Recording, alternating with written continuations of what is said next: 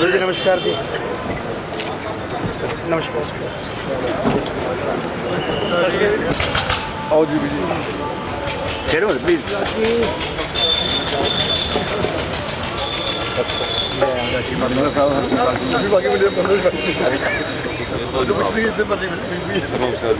हाँ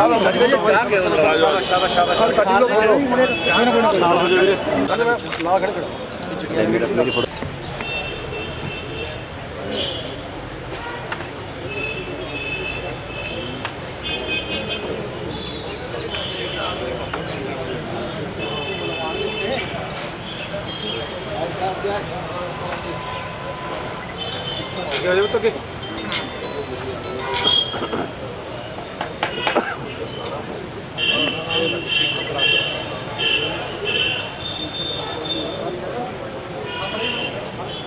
ਜੀ ਬਾਕੀ ਮਿਲੇ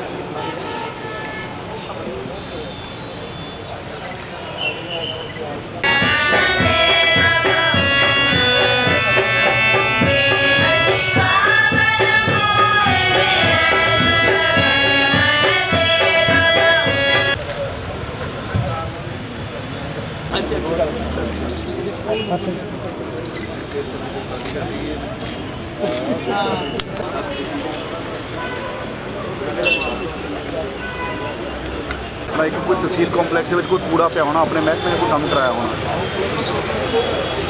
ਉਹਦੇ ਵਾਸਤੇ ਮੈਂ ਪਹਿਲਾਂ ਵੀ ਕਿਹਾ ਸੀਗਾ ਕਿ ਉਹਦੇ ਵਾਸਤੇ ਅੱਜ ਜਿਹੜੇ ਵੀ ਕੋਈ ਆਪਣਾ ਪੇਪਰ ਲੱਗਣ ਦੀ ਲੋੜ ਹੈ ਕੁਝ ਵੀ ਲੱਗਣੇ ਉਹ ਵੀ ਅੱਜ ਲੱਗਣੇ ਚਾਹੀਦੇ ਹੈ। ਪਰ ਆਪ ਅਸੈਸ ਕਰ ਲਓ ਤੇ ਉਹਨੂੰ ਚੈੱਕ ਕਰ ਲਓ ਇੱਕ ਜਦੋਂ ਆਪਾਂ ਪਟਿਆਲੇ ਤੋਂ ਸਮਾਨੇ ਆਉਂਦੇ ਆ ਤੇ ਅਬ ਜਿਹੜੀ ਰੋਡ ਹੈ, ਇਹ ਇਹਦੇ ਵਿੱਚ ਡਿਵਾਈਡਰ ਲੱਗਣ ਵਾਸਤੇ ਰਿਕੁਆਇਰਮੈਂਟ ਹੈ ਨਾ ਵੀ। ਟੈਂਟੂ ਸੈਂਟਰ ਦਾ ਫਤਿਹਪੁਰ ਤੋਂ ਲੈ ਕੇ ਸਮਾਣੇ ਤੱਕ ਬਹੁਤ ਉਹ ਐਕਸੀਡੈਂਟ ਹੋਏਗਾ ਤਾਂ ਕੋਈ ਤੇ ਇਹਦੀ ਲੈਂਡ ਵਿਡਥ ਚੈੱਕ ਕਰੋ ਕਿੰਨੀ ਹੈ। ਕਿ ਉਹਦੇ ਡਿਵਾਈਡਰ ਫਿਜ਼ੀਬਲ ਹੈਗਾ।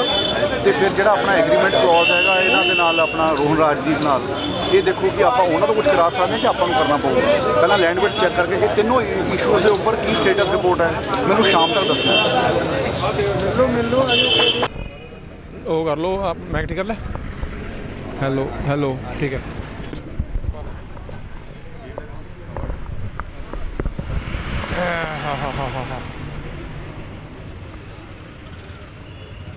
ਦੇ ਵਿੱਤ ਮੰਤਰੀ ਜੀ ਨੂੰ ਸੱਤ ਸੂਬਿਆਂ ਦੇ ਵਿੱਤ ਮੰਤਰੀਆਂ ਨੂੰ ਕੇਂਦਰ ਸਰਕਾਰ ਦੇ ਵਿੱਤ ਮੰਤਰੀ ਕੋਲ ਜਾ ਕੇ ਇਸ ਗੱਲ ਦਾ ਜ਼ੋਰਦਾਰ ਤਰੀਕੇ ਨਾਲ ਰੋਸ਼ ਪ੍ਰਗਟ ਕਰਨਾ ਪਿਆ ਕਿ ਉਹਨਾਂ ਦੇ ਸੂਬਿਆਂ ਦੇ ਬੰਦੇ ਹੋਏ ਜੀਐਸਟੀ ਦੀ ਕਿਸ਼ਤ ਪਿਛਲੇ ਅਗਸਤ ਤੋਂ ਸੂਬਿਆਂ ਦੇ ਵਿੱਚ ਨਹੀਂ ਆ ਰਹੀ।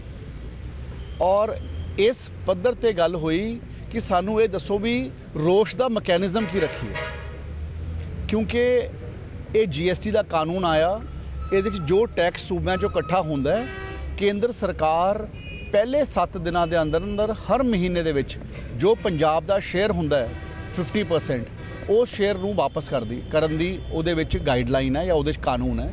ਲੇਕਿਨ ਪਿਛਲੇ 3-4 ਮਹੀਨਿਆਂ ਤੋਂ ਜਿਹੜਾ ਜੀਐਸਟੀ ਦਾ ਪੈਸਾ ਪੰਜਾਬ ਦੇ ਸੂਬੇ ਤੋਂ ਕੇਂਦਰ ਦੀ ਸਰਕਾਰ ਦੇ ਖਾਤੇ 'ਚ ਜਮ੍ਹਾਂ ਹੋਇਆ, ਉਹਦੀ ਅਦਾਇਗੀ ਨਾ ਹੋਣ ਕਾਰਨ ਸੂਬੇ ਦੀ ਆਰਥਿਕ ਹਾਲਤ ਬੜੀ ਨਾਜ਼ੁਕ ਹੋਈ ਹੋਈ ਹੈ। ਔਰ ਇਸ ਕਰਕੇ, ਔਰ ਇਸ ਤੋਂ ਇਲਾਵਾ ਜਿਹੜਾ ਹੋਰ ਪੁਰਾਣਾ ਪੈਸਾ ਕੇਂਦਰ ਸਰਕਾਰ ਤੋਂ ਆਣਾ ਸੀ, ਕਈ ਟੈਕਸ ਦੇ ਆਧਾਰ ਤੇ, ਉਹ ਵੀ ਆਣਾ ਬਾਕੀ ਹੈ। ਉਮੀਦ ਹੀ ਰੱਖ ਸਕਦੇ ਹਾਂ, ਕਿਉਂਕਿ ਕੇਂਦਰ ਸਰਕਾਰ ਦੇ ਵਿੱਤ ਮੰਤਰੀ ਜੀ ਨੇ, ਸਾਡੇ ਵਿੱਤ ਮੰਤਰੀ ਜੀ ਨੂੰ ਆ ਬਿਹਤਰ ਹੋ ਸਕੇ ਔਰ ਸਾਡੇ ਵਾਂਗੂ ਹੋਰ ਕਈ ਸੂਬਿਆਂ ਦੇ ਵਿੱਚ ਵੀ ਸੇਮ ਹਾਲਤ ਹੈ। ਜਾਂ ਤਾਂ ਕੇਂਦਰ ਸਰਕਾਰ ਦੀ ਵਿੱਤੀ, ਕੇਂਦਰ ਸਰਕਾਰ ਦੇ ਵਿੱਚ ਵਿੱਤੀ ਸੰਕਟ ਹੈ।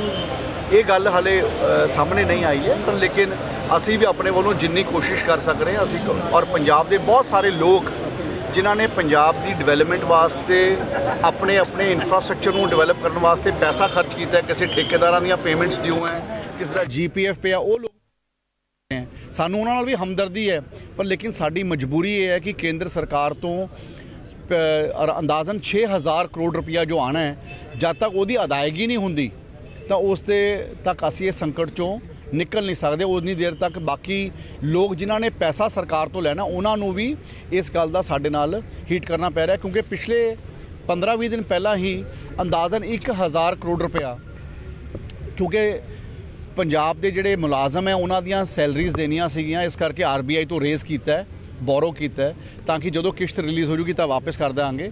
ਪਰ ਲੇਕਿਨ ਇਹ ਇਹ ਜ਼ਿਆਦਾ ਦੇਰ ਚੱਲਣ ਵਾਲਾ ਨਹੀਂ। ਚੱਲੂਗਾ ਇਹ ਕੰਮ ਤਾਂ ਹੀ ਜਦੋਂ ਕੇਂਦਰ ਸਰਕਾਰ ਆਪਣਾ ਸ਼ੇਅਰ ਸਾਡੇ ਸੂਬੇ ਦਾ ਜਾਂ ਬਾਕੀ ਸੂਬੇ ਦਾ ਦੇਊ ਤੁਸੀਂ ਜਨਵਰੀ ਦੇ ਵਿੱਚ ਟੀਚਰਸ ਦੀ ਭਰਤੀ ਦੀ ਗੱਲ ਕੀਤੀ ਸੀ। ਕਦੋਂ ਤੋਂ ਸਟਾਰਟ ਹੋ ਰਿਹਾ ਜੀ ਭਰਤੀ ਮੁਹਿੰਮ ਟੀਚਰਸ ਦੀ? ਦੇਖੋ ਮੈਂ ਇਹ ਗੱਲ ਕਹਿਣਾ ਚਾਹੁੰਦਾ ਕਿ ਜਿਹੜੀ ਤੁਸੀਂ ਭਰਤੀ ਦੀ ਗੱਲ ਕੀਤੀ ਹੈ ਇਹ ਇੱਕ ਬੜਾ ਸਿਸਟਮੈਟਿਕ ਸਿਸਟਮ ਹੈ।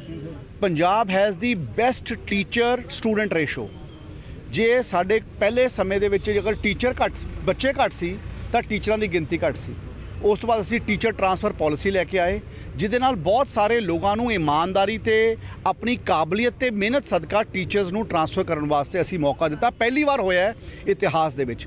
ਔਰ ਇਸ ਤੋਂ ਇਲਾਵਾ ਰੈਸ਼ਨਲਾਈਜੇਸ਼ਨ ਪਾਲਿਸੀ ਚੱਲ ਰਹੀ ਹੈ, ਕਿਉਂਕਿ ਪਹਿਲਾਂ ਕੀ ਹੁੰਦਾ ਸੀ, ਬਹੁਤ ਸਾਰੇ ਟੀਚਰ ਸਹਿਬਾਨ ਸਿਰਫ ਸ਼ਹਿਰਾਂ 'ਚ ਕੰਮ ਕਰਨਾ ਚਾਹੁੰਦੇ ਸੀ ਤੇ ਬਹੁਤ ਸਾਰੀਆਂ ਪੋਸਟਾਂ ਸਰਪਲਸ ਸੀਗੀਆਂ। ਤੇ ਅੱਜ ਅਸੀਂ ਰੈਸ਼ਨਲਾਈਜੇਸ਼ਨ ਕਰ ਰਹੇ ਹਾਂ, ਜਿਹੜੀ ਕਿ 31 ਦਸੰਬਰ 2019 ਤੱਕ ਮੁਕੰਮਲ ਹੋ ਜਾਣੀ ਹੈ।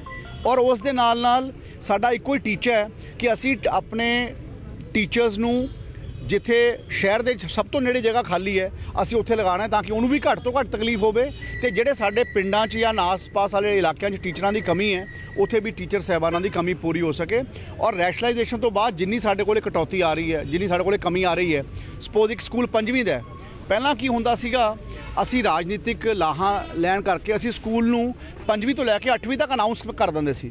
ਪਰ ਜਦ ਤੱਕ ਉੱਥੇ ਟੀਚਰ ਦੀ ਭਰਤੀ ਨਹੀਂ ਹੁੰਦੀ, ਤਾਂ ਉਹ ਸਕੂਲ ਪੰਜਵੀਂ ਤੋਂ ਲੈ ਕੇ 8ਵੀਂ ਤੱਕ ਅਪਗ੍ਰੇਡ ਹੋ ਨਹੀਂ ਪਾਉਂਦਾ ਸੀ।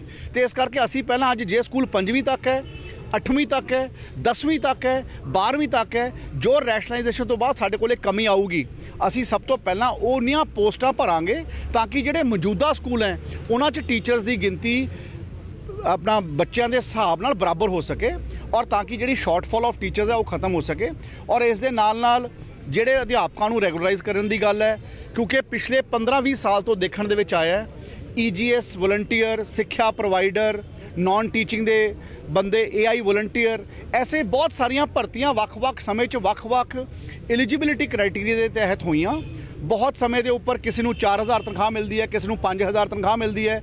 ਉਹ ਲੋਕ ਆਪਣਾ ਗੁਜ਼ਾਰਾ ਪਿਛਲੇ 15-15 ਸਾਲਾਂ ਤੋਂ ਇਸੇ ਤਨਖਾਹ ਦੇ ਉੱਪਰ ਕਰ ਰਹੇ ਹਨ ਤੋਂ ਅਸੀਂ ਆਪਣੇ ਵੱਲੋਂ ਤਜਵੀਜ਼ ਬਣਾਈ ਹੈ ਕਿ ਅਸੀਂ 4-5 ਕੈਬਨਿਟ ਦੇ ਮੈਮੋਰੈਂਡਮ ਲੈ ਕੇ ਜਾ ਰਹੇ ਹਾਂ ਔਰ ਮੇਰੀ ਪੂਰੀ ਕੋਸ਼ਿਸ਼ ਹੈ ਪਿਛਲੇ 2-3 ਮਹੀਨਿਆਂ ਤੋਂ ਮੈਂ ਲੱਗਿਆ ਇਸ ਗੱਲ ਦੇ ਉੱਪਰ ਕਿ ਅਗਲੀ ਕੈਬਨਿਟ ਵਿੱਚ ਅਸੀਂ ਉਹਨਾਂ ਨੂੰ ਪ੍ਰਵਾਨਗੀ ਦਿਵਾਵਾਂਗੇ ਤਾਂ ਕਿ ਇਹ ਸਾਰੇ ਜਿਹੜੇ ਨੌਜਵਾਨ ਬੱਚੇ, ਛੋਟੇ ਭੈਣ ਭਰਾ, ਸਮੁੱਚੇ ਪੰਜਾਬ ਦੇ ਵਿੱਚ ਬਿਨਾਂ ਕਿਸੇ ਰੋਡ ਮੈਪ ਤੋਂ ਫਿਰ ਰਹੇ ਹਨ ਇਹਨਾਂ ਨੂੰ ਪਤਾ ਹੀ ਨਹੀਂ ਕਿ ਇਹਨਾਂ ਦਾ ਭਵਿੱਖ ਕੀ ਹੋਣਾ ਹੈ।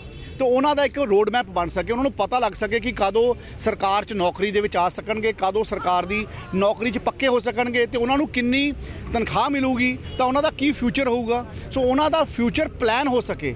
ਉਹਨਾਂ ਦੇ ਮਨ 'ਚੋਂ ਅਸ਼ੰਕਾ ਨਿਕਲ ਸਕੇ। ਇਸ ਗੱਲ ਕਰਕੇ ਅਸੀਂ 4-5 ਕੈਬਨਿਟ ਦੇ ਮੈਮੋਰੈਂਡਮਸ ਲੈ ਕੇ ਆ ਰਹੇ ਹਾਂ। ਮੈਂ ਸਾਰੀ ਜਥੇਬੰਦੀਆਂ ਨੂੰ ਵੀ ਇਹ ਗੱਲ ਦੀ ਆਪਣੇ ਵੱਲੋਂ ਹੰਬਲ ਤੌਰ ਤੇ ਅਪੀਲ ਕਰਦਾ ਮੈਂ ਪਹਿਲਾਂ ਵੀ ਕਈ ਵਾਰ ਕਿਹਾ ਹਮੇਸ਼ਾ ਕਹਿੰਦਾ ਕਿ ਜਿਹੜੀ ਵੀ ਤੁਹਾਡੀ ਤਕਲੀਫ ਹੈ, ਤੁਸੀਂ ਮੇਰੇ ਨਾਲ ਗੱਲਬਾਤ ਦੇ ਨਾਲ ਆਪਾਂ ਹੈਂਡਲ ਕਰੀਏ ਔਰ ਉਸ ਗੱਲ ਨੂੰ ਆਪਾਂ ਰਾਈਟ ਪਲੇਟਫਾਰਮ ਤੇ ਚੱਕੀਏ ਕਿਉਂਕਿ ਐਜੂਕੇਸ਼ਨ ਡਿਪਾਰਟਮੈਂਟ ਕੱਲਾ ਐਜੂਕੇਸ਼ਨ ਡਿਪਾਰਟਮੈਂਟ ਨਹੀਂ ਹੈ ਜਿਹਨੇ ਪ੍ਰਵਾਨਗੀ ਤੇ ਫੈਸਲਾ ਕਰਨਾ ਹੈ, ਜਿਹਨੇ ਨੌਕਰੀ ਤੇ ਫੈਸਲਾ ਕਰਨਾ ਹੈ। ਇਸ ਪੂਰੀ ਸਮੁੱਚੀ ਸਰਕਾਰ ਦਾ ਫੈਸਲਾ ਹੈ। ਅੱਜ ਮੈਂ ਦੇਖਦੇ ਹਾਂ ਕਿ ਕੋਈ ਬੰਦੇ ਇੰਜੀਨੀਅਰ ਬਣ ਜਾਂਦੇ ਆ ਬਹੁਤ ਸਾਰੇ ਲੋਕ ਜਦ ਇੰਜੀਨੀਅਰ ਬਣ ਜਾਂਦੇ ਆ ਉਹ ਵੀ ਬੇਰੋਜ਼ਗਾਰ ਰਹਿ ਜਾਂਦੇ ਆ ਕੋਈ ਡਾਕਟਰ ਬਣ ਜਾਂਦੇ ਉਹ ਵੀ ਬੇਰੋਜ਼ਗਾਰ ਰਹਿ ਜਾਂਦੇ ਆ ਸੋ ਬੇਰੋਜ਼ਗਾਰੀ ਹੈਗੀ ਸਰਕਾਰ ਅੰਡਰਸਟੈਂਡ ਕਰਦੀ ਹੈ ਸਰਕਾਰ ਨੇ ਵਾਅਦਾ ਕੀਤਾ ਕਿ ਵੀ ਵਿਲ ਪ੍ਰੋਵਾਈਡ ਏਮਪਲੋਇਮੈਂਟ ਔਰ ਅਸੀਂ ਉਸ ਗੱਲ ਤੇ ਲੱਗੇ ਹੋਏ ਹਾਂ ਬਟ ਐਵਰੀਥਿੰਗ ਟੇਕਸ ਟਾਈਮ ਔਰ ਮੈਂ ਮੇਰਾ ਵਾਅਦਾ ਹੈ ਜਿੰਨਾ ਮੈਂ ਇਹ ਬੱਚਿਆਂ ਦੇ ਫਿਊਚਰ ਨੂੰ ਕਰਨ ਵਾਸਤੇ ਗੱਲ ਕਰ ਸਕੂੰਗਾ I will do it with my best interest and my best focus ਤਾਂ ਕਿ ਇਹ ਬੱਚਿਆਂ ਨੂੰ ਰੋਡ ਮੈਪ ਮਿਲ ਸਕੇ ਔਰ ਬੱਚੇ ਅੱਗੇ वध सकें 2020 के अंदर नई भर्ती है बिल्कुल 2020 के अंदर, जनवरी के अंदर हमारी कोशिश है कि ऐड आए। मैंने जैसे कहा कि पहले दो ढाई हज़ार बच्चों की उम्मीद है हमारे को जो वैकेंसी निकल कर आ रही है रैशनलाइजेशन के बाद, जिसका आंकड़ा 31 दिसंबर 2019 को तय हो जाएगा। 31 दिसंबर 2019 को तय हो जाएगा और उसके अलावा जनवरी के बाद भर्ती होगी ताकि 31 मार्च तक ये भर्ती मुकम्मल हो ताकि सभी स्कूलों में सरकारी स्कूलों में अध्यापकों की गिनती के अंदर जो कटौती है वो पूरी हो सके और बच्चों की शिक्षा का जो म्यार है वो ऊपर उठा जा उठाया जा सके। फ़ोटो सेशन अध्यापकों में रोज है सिंगला साहब भी मतलब अध्यापकों के ऊपर लाठीचार्ज किसानों पर लाठीचार्ज सरकार कर रही है इसमें क्या कहेंगे? देखो बात ऐसे है कि मैंने अपनी तरफ़ से हमेशा पूरी कोशिश की है अपनी तरफ़ से हाथ जोड़कर अपील भी की है सभी अध्यापकों को कि मेरे साथ बैठ के जो आप बात करते हो मैं उस बात को समझता हूँ और आपके फ़ायदे के लिए आपके हक के लिए आपके फ्यूचर के लिए आपके फ्यूचर के लिए उसको फ्यूचर के लिए आगे लेके जाने की कोशिश करता हूँ। मैं मैं मैं इस सरकार का एक हिस्सा हूँ पर मैं सरकार अकेला ही सरकार नहीं हूँ। जब कोई भर्ती होनी है किसी के समस्या का समाधान होना है वो सभी विभागों को मिलकर करना होता है। तो इसलिए मैं ये सभी यूनियंस को भी कहना चाहता हूँ कि वो इनको इस बात को अंडरस्टैंड करना चाहिए। रोष करना एक लेवल तक ठीक है पर लेकिन जो समस्या का समाधान है वो वार्तालाप से वो बातचीत से ही होता है। और मैं हर व्यक्ति की हर संगठन की हर बात को मजबूती से अपने कैबिनेट में रखता हूँ और जब जब उसकी मंजूरी होगी सभी नौजवान युवाओं को मालूम सड़कें आपने बहुत बढ़िया बनाई हैं सड़क दुर्घटनाओं के अंदर लगातार बढ़ोतरी हो रही है उसको रोकने के लिए कोई नया बनवे बनाने का इस तरह जहाँ तक जहाँ तक आपने बोला कि बहुत सारे ऐसे जंक्शंस हैं जहाँ पर एक्सीडेंट होता है। डीजीपी साहब की और मेरे विभाग की एक मीटिंग हुई है।